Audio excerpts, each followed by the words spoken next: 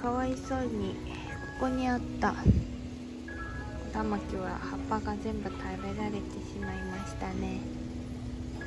タル袋も寒さにやられて虫に食われて、えー、だんだん元気がなくなってきました。ここのオダマキも食べられてるな。うん。おなんかこれとかすごい。秋を感じますねホタル袋。このオダマキは結構食われちゃったね。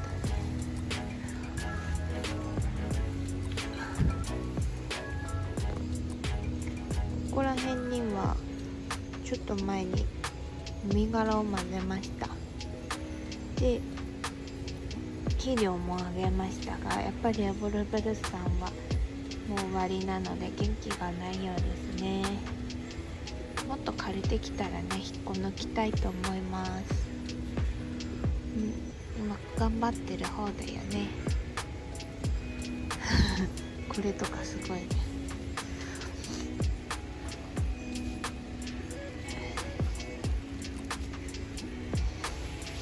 これは雑草だね。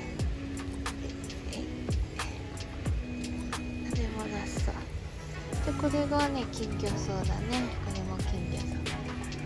れはキャットニップで。これは何だろう。何か雑草なのかな。わかりませんね。これは金魚草だね。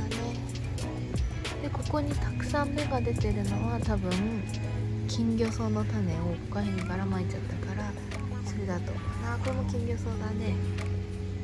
これも金魚草だね。これも金魚草だね。すごい。雑草に紛れてなんかいろいろ咲いてるって感じだねアナベルさんも随分葉っぱが黄色くなって茶色くなっていますね。うん。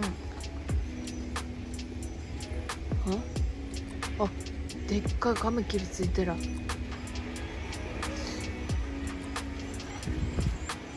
気がついたらすっごい大きくなっちゃったエボリブルス半分に割れてます。昨日久しぶりに雨が降ったからパカーンって割れちゃった。でここら辺も数日前にも身柄をまいたのですごい耕したんだけどまた雑草が生えてますね。でここに咲き苔の苗を今までポット内に置いてたやつ。いい加減に植えました。これでちょっと大きくなるといいな。で手前に終わった薬テンは。根元からちっちゃい芽が出てますが。どうなんでしょうかね。元気になるんでしょうか。寒い日が続いてるからね。第3のアナベルもカレカレのカレカレで。カレカレ。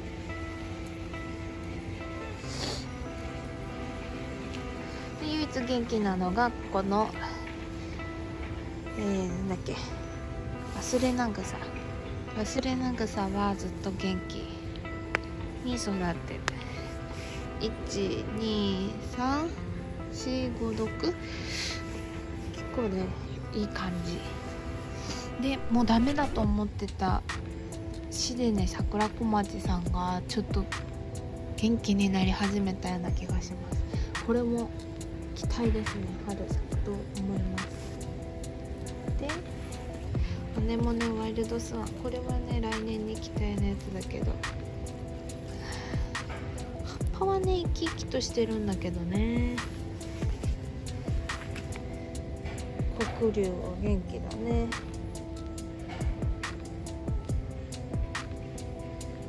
うちの姉もねワイルドスワンは元気なのか元気じゃないのか。でも新芽が育ってない。頑張ってほしいですね。うん。ここら辺ももみ殻をまいたので土の色が随分変化してます。ユーフォルビアしか咲いてないので寂しい花壇ですね。口側壁際な花壇ですね。なんか今日は特に白っぽく見えますね。で向こうのサルビアはうんこな これすごいねなんか。1箇所しか根っこに入ってないのにこんなに広がってこっちもね多分1箇所くらいなんだけどそっからすごい横に広がってます。ね頑張ってちょっとこっちはね元気がないけど。ちょっとこの前刈り取りすぎた。けど生きてるね。バロータキャディアさんも生きてますね。で元気なのは忘れな草いいね。ここも咲きそうですね。おこれ育ってんじゃん。いいじゃんいいじゃん。ねえ。金魚草。これも金魚草。これは刺身してたエボルブスなんかやっぱ元気なくなってきちゃったから。ね。これでディドフィニウムサマークラウドさんもね新新芽が出てきてますんで。春咲きそうですね。でこちらススキは？ほなんか画面越しで見ると結構赤いけどなんか遠目で見ると結構茶色なんだよね。いい感じでススキが揺れてます。ここの花壇はねちょっといい雰囲気ですね。こちらは一日中日の当たる花壇です。ここもスレナグサとアガパンサスが元気ですね。アガパンサスは新芽が出てちょっと勢力を伸ばしてますね。ゴゴゴゴゴゴこちらは気境ですね。ちょっと前まで両方ともこういう黄色の葉っぱだったんだけど。こっちはもうカリカリになり始めました。で冬の間ね根っこをねいっぱい張ってもらってまたね春に芽吹いてほしいねこっち綺麗だね。で向こうのオダマキはかなり食べられてるけどこっちのオダマキは元気ですね。ちょっとなんか白っぽいのがついてますけど。なんでしょう。病気じゃないといいんですけど。ちょっと。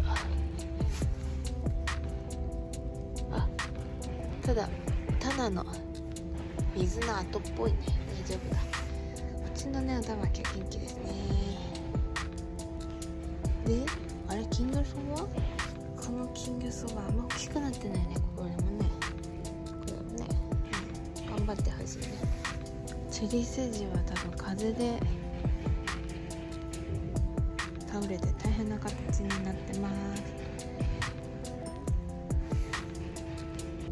こちらはシュウメンギクです最近ようやく風が収まったので寒いけど風はあんまり吹いてないのでダメージは少なそうです。よく見たらここに新芽が出始めそうになってますのでどうにか頑張って冬を越してほしいです。ねもう冬越したら春また風が吹くんだよねそこが心配その時はここにね風よけをさせようかな頑張ってますクリスマスローズも芽が出てきました。うん1234うんかないけどいっぱい出てきてます。特にねこれが一番育っててギザギザの葉っぱがね出てきました。いいね。ちょっとね成長を見守